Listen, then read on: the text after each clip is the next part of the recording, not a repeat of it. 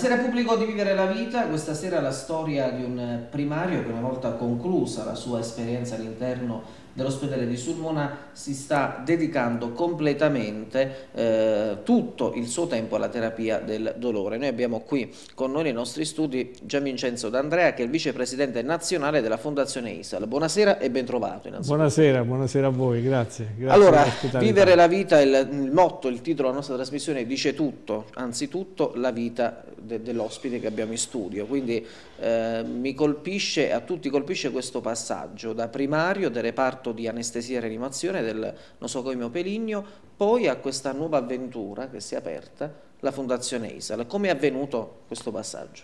Ma eh, si può dire che è avvenuto per eh, prosecuzione diciamo, di interesse eh, professionale. Io nel corso della mia eh, attività di lavoro all'interno dell'ospedale di Sulmona ho sempre pensato che fosse un obbligo per me, ma insomma per i medici in generale, eh, ridurre il dolore, il dolore legato alle diverse condizioni di malattia che poi portavano i pazienti in ospedale. E devo dire la verità che diciamo, con questo intento mh, nell'anno 2000 io ritenni che l'ospedale di Sulmona potesse diventare uno degli ospedali italiani definiti come ospedale senza dolore. E per fare questo ritenni che fosse possibile mettere in campo una serie di procedure che eh, di fatto abolivano il dolore post-operatorio, quindi tutti i pazienti sottoposti a intervento chirurgico nell'ospedale di Sulmona dal 2000 in poi sono sottoposti a trattamento di terapia antalgica post-operatoria con evidenti benefici e sollievi, riduzione della degenza, miglioramento delle condizioni generali, mh, più rapido rientra a casa dopo l'esecuzione dell'intervento.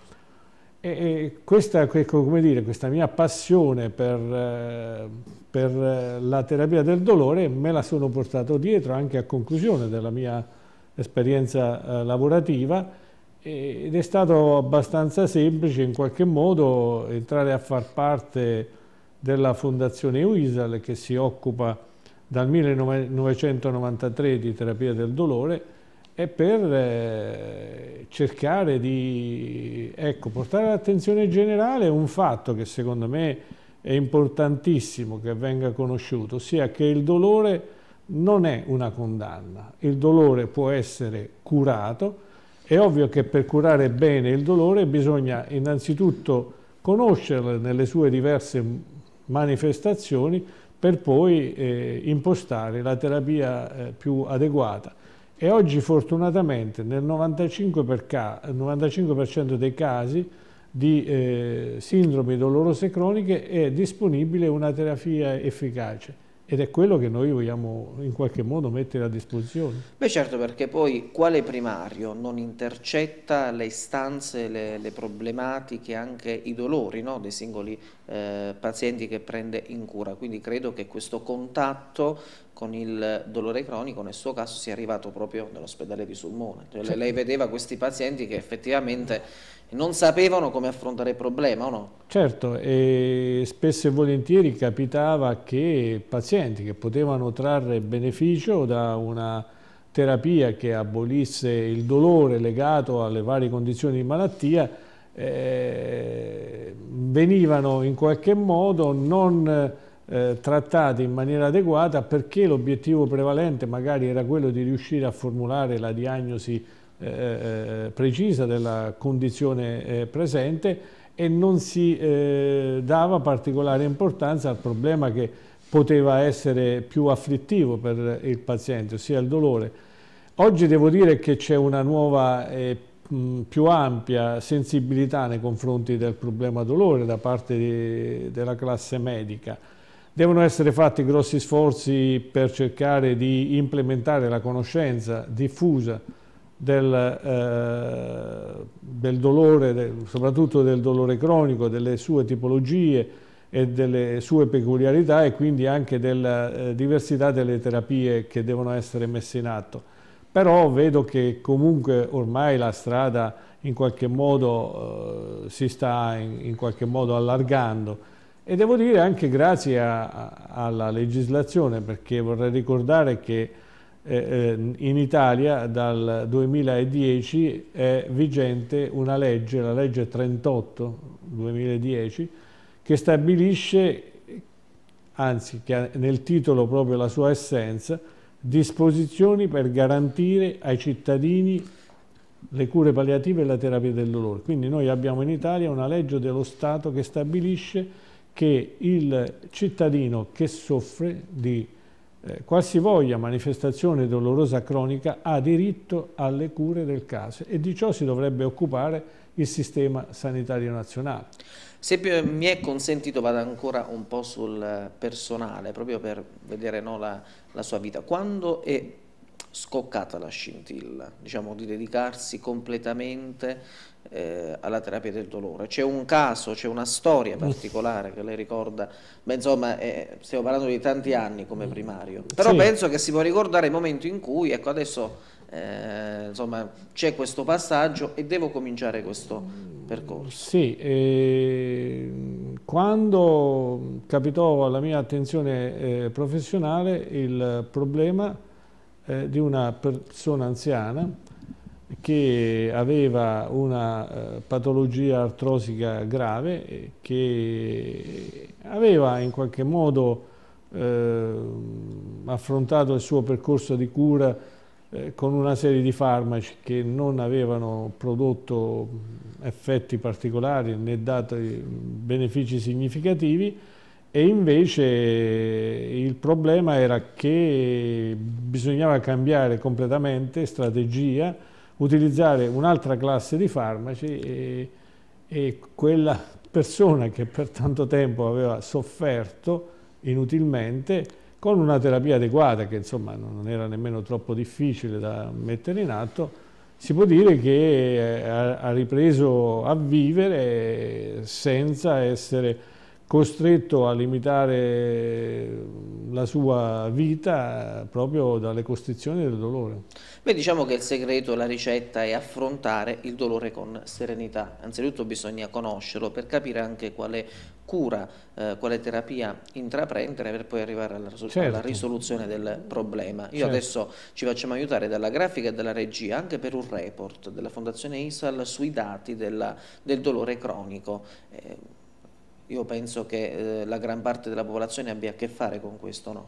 Sì, allora eh, i dati del Ministero della Salute, eh, più recenti, comunicano che in Italia eh, all'incirca il 25% della popolazione soffre di dolore cronico e quando si parla di dolore cronico non si deve intendere eh, in maniera esclusiva il dolore legato a patologie tumorali in fase terminale anzi questa eh, dire, percentuale di pazienti tumorali eh, in fase terminale eh, afflitti da eh, dolore legato proprio alla malattia tumorale eh, sono una piccola parte della dimensione della, eh, del dolore cronico. In Italia, dicevo, il Ministero per, della Salute afferma che sono 13 milioni gli italiani che soffrono di dolore cronico.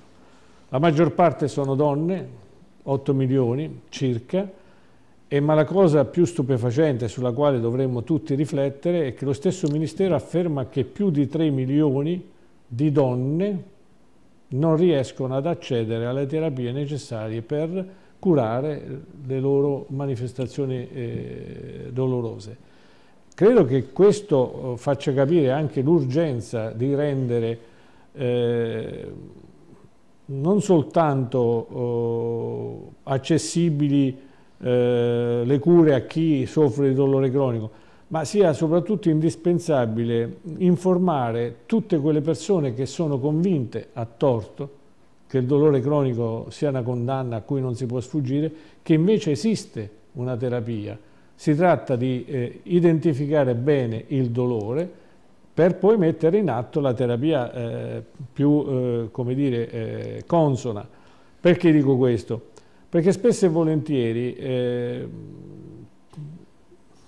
si fanno, come dire, degli errori di valutazione. Cerco di spiegarmi meglio. Eh, se lei mi chiede se io possiedo una macchina, io rispondo sì.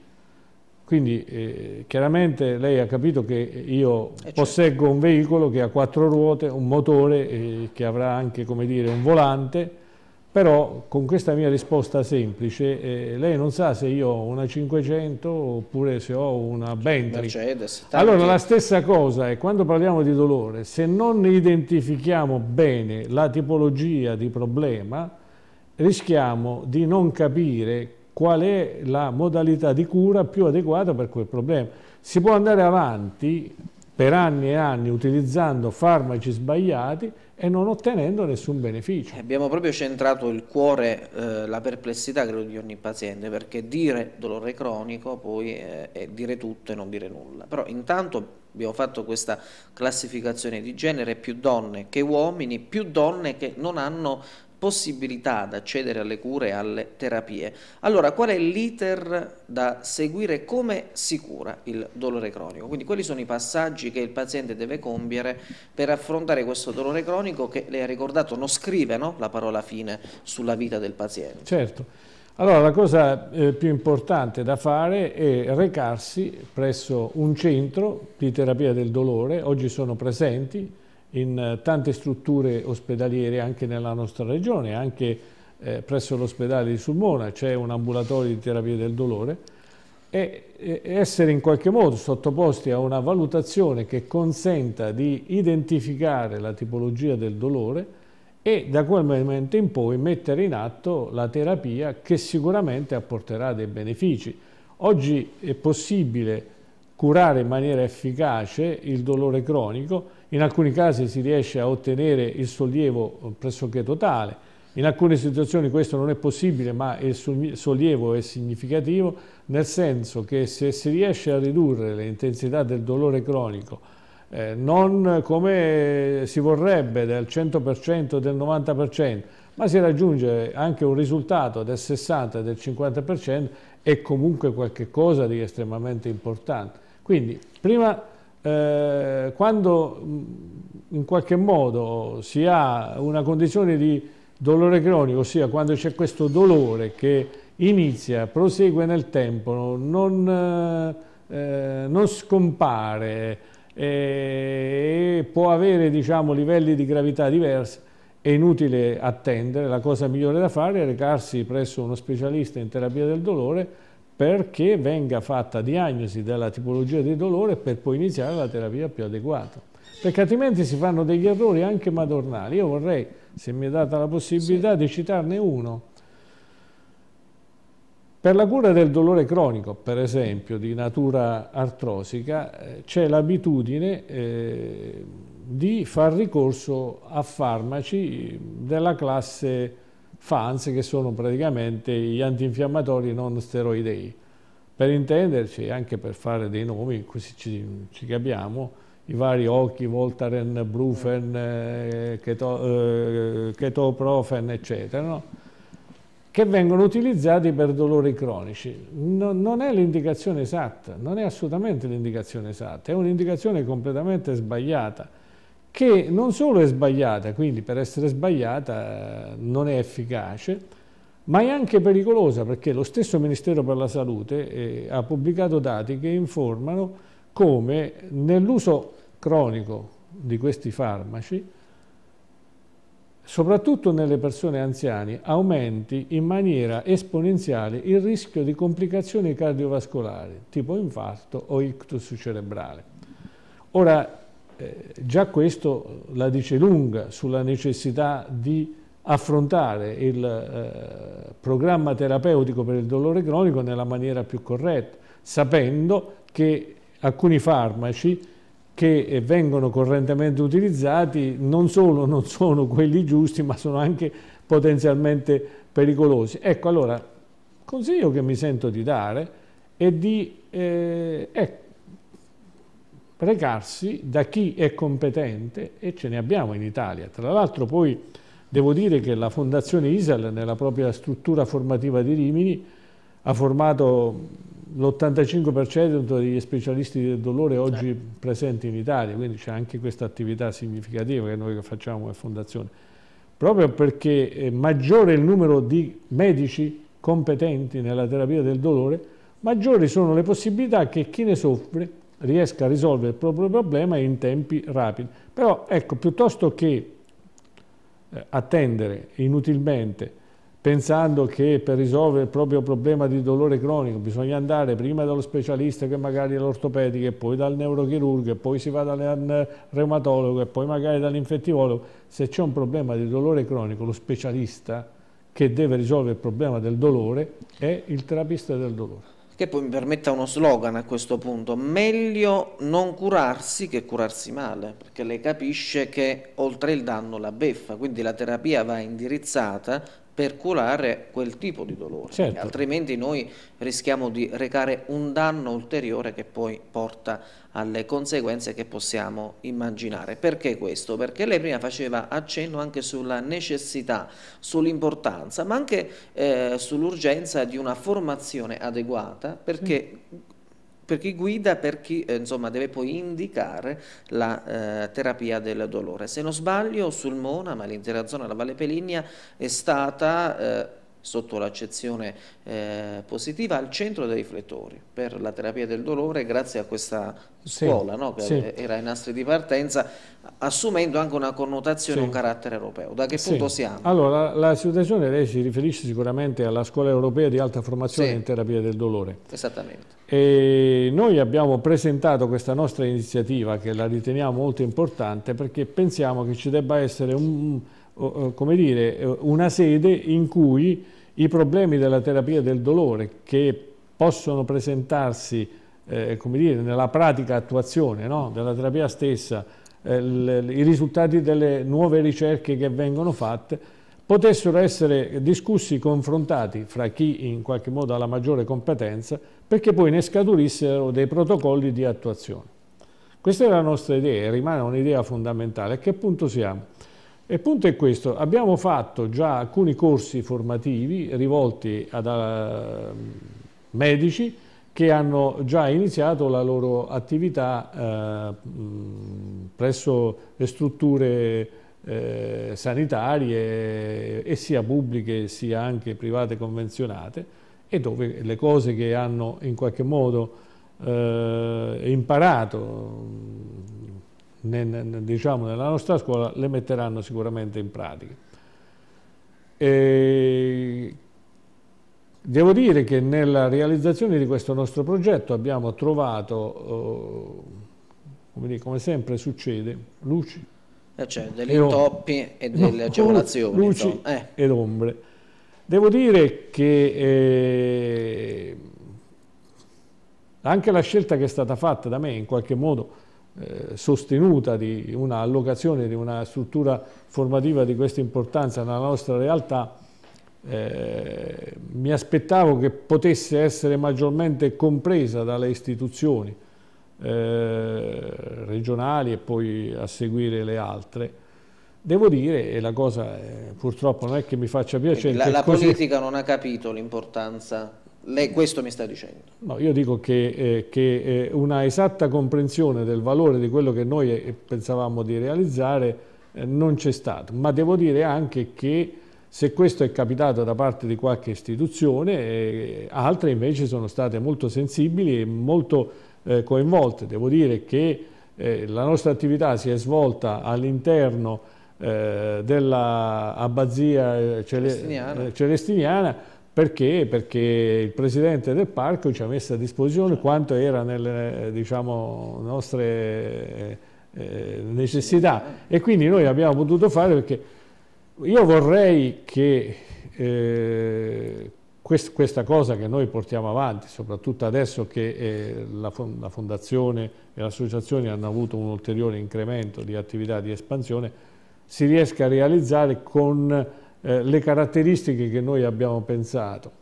Devo dire che comunque noi andiamo avanti per la nostra strada e posso anticipare già per esempio che in autunno a ridosso della giornata mondiale 100 città contro il dolore, l'evento certo. eh, clou della nostra attività eh, per così dire di informazione eh, che si svolgerà il prossimo 7 ottobre.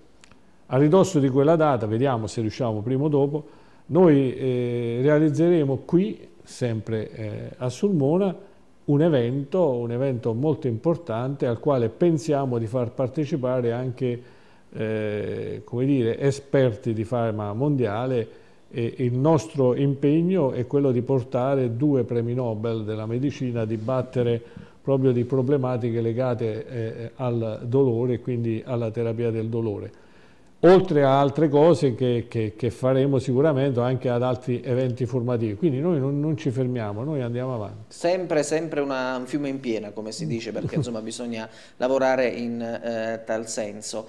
Si può ritrovare il sorriso dopo una buona terapia del dolore? Ecco, è un po' il rovescio della medaglia della domanda che le ho fatto poc'anzi, se Guardi, dopo una storia che la, la portare a dedicarsi alla terapia del dolore, non so se c'è un'altra storia dove lei no, magari è fiero di aver intrapreso ma, questa... Eh, mm, ne potrei citare diverse, eh, ma ce n'è una molto bella tra l'altro, che è stata anche eh, in qualche modo pubblicata mm, proprio per, il suo valore eh, sul nostro sito che è eh, il sito della fondazione per chi volesse in qualche modo informarsi ulteriormente è eh, www.fondazioneisal.it e lì c'è tutto quello che fa capire che cosa siamo e che cosa facciamo.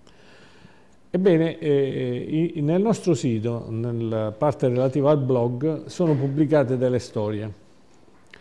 Ce n'è anche una. Mm che riguarda una giovane signora di Sulmona. Una giovane signora di Sulmona che lei ha voluto che fosse anche identificabile, perché c'è anche il nome. Io non lo, non lo dico qui per, dire, certo. per, per, rispetto. Ci interessa il caso, sì. Eh. Allora, questa giovane signora ha raccontato la sua vicenda. Lei inizia un percorso di sofferenza legato a tutta una serie di fatti precisamente identificati che la porta a soffrire in maniera continuativa di un dolore cronico grave, a volte anche gravissimo, per 17 anni. Per 17 anni, che ne sconvolge l'esistenza, che ne crea un profondo cambiamento anche del suo modo di vivere e che la porta anche a ritenere che la vita non avesse significato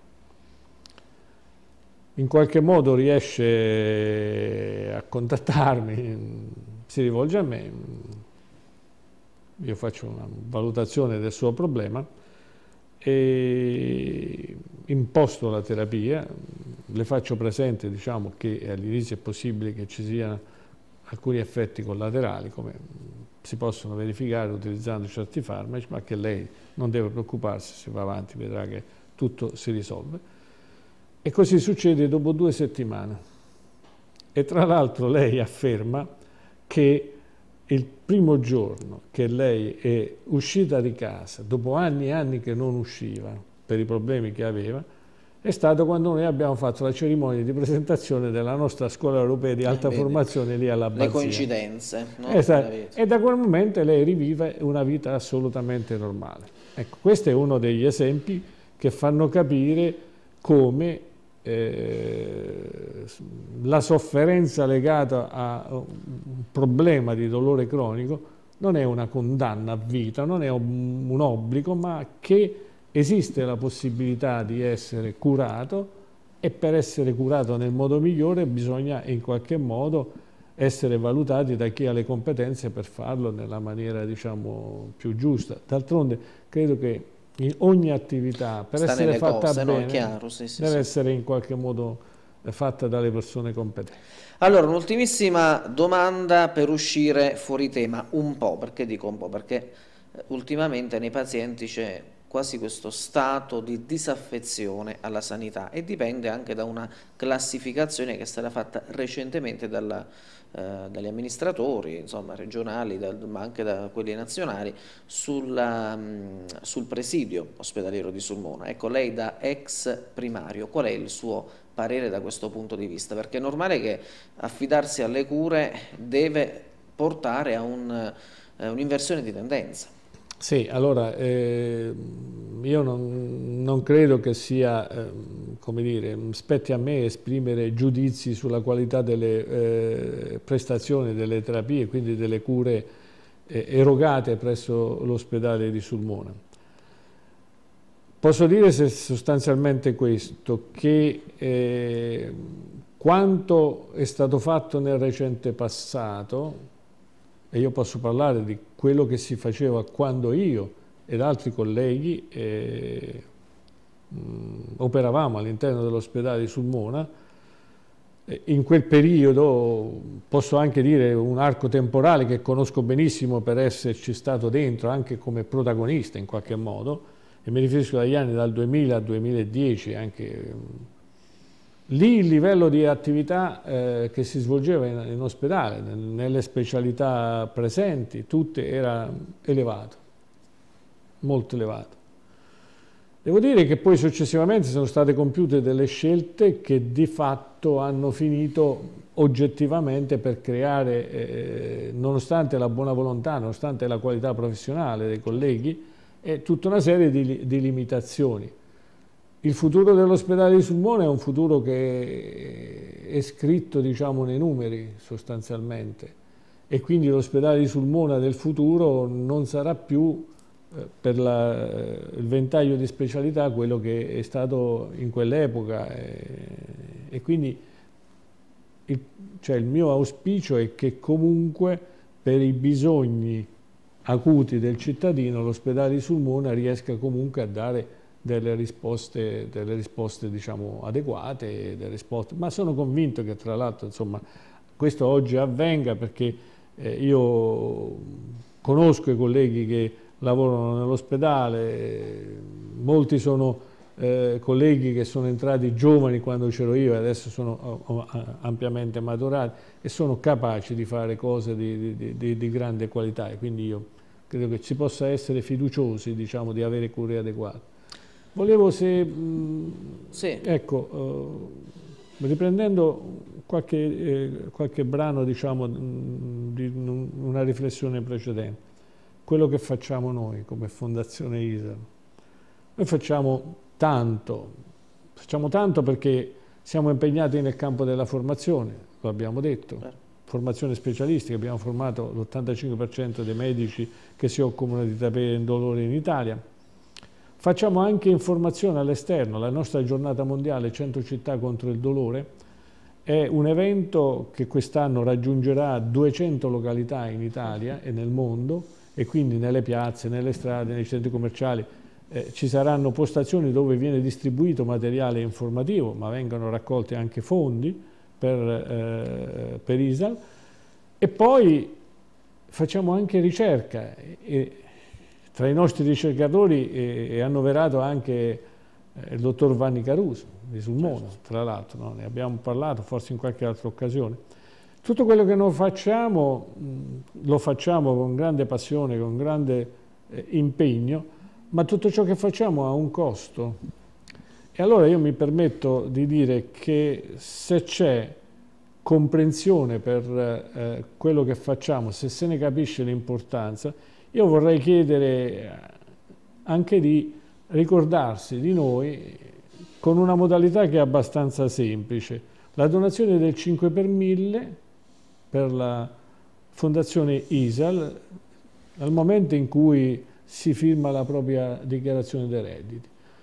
Eh, devo dire che tantissime persone negli ultimi tempi mi hanno espresso la loro volontà di aderire a questa modalità di sostegno e io l'invito, se mi è consentito certo, che vorrei certo. fare in questa sede, è questo. Se si capisce l'importanza di quello che stiamo facendo, eh, ecco, aiutateci, perché eh, quando noi parliamo, spieghiamo, mh, mm, facciamo conoscere i numeri, eh, le persone con cui parliamo veramente si, si innamorano di quello che, che stiamo facendo. Vorrei citare a titolo di esempio Eh, quello che è capitato con Teresa Desio, che è stata eh, protagonista di un eccezionale evento artistico qui al Teatro Caniglia di Sulmona, che quando ha avuto dire, la possibilità di sapere da me i dati del dolore cronico in Italia, il grave problema del dolore delle donne, si è talmente convinta eh, della bontà delle nostre iniziative che ha deciso di sostenerci eh, diventando una nostra ambasciatrice, ma come lei anche altri hanno deciso di farlo. Ecco, io vorrei semplicemente dire questo, se pensate che quello che noi vogliamo fare, oltre quello che stiamo facendo, per chi soffre di dolore cronico, per schiacciare il dolore, per ridare dignità all'esistenza di tante persone eh, che eh, vedono la loro vita sconvolta dalle diverse forme di dolore cronico, ecco, aiutateci perché eh, se aiutate noi eh, noi avremo maggiore possibilità di aiutare chi si trova in questa condizione. Anche perché poi questa non è una, diciamo, una causa che si distacca dalla popolazione, riguarda invece al contrario tutta la fascia della popolazione, quindi la, il rilievo, la connotazione sociale, ma il risvolto che anche per la salute, per il benessere delle persone, credo che ormai sia passato questo messaggio. Allora io per questa sera ringrazio Gian Vincenzo D'Andrea, vicepresidente nazionale della Fondazione ISAL e quindi ci riaggiorneremo a breve. Grazie. Grazie a voi dell'ospitalità e grazie dell'attenzione. E grazie al nostro pubblico l'appuntamento con la nostra rubrica per la prossima settimana su Onda TV, canale 18 del Digitale Terrestre. Buona serata e viva la vita.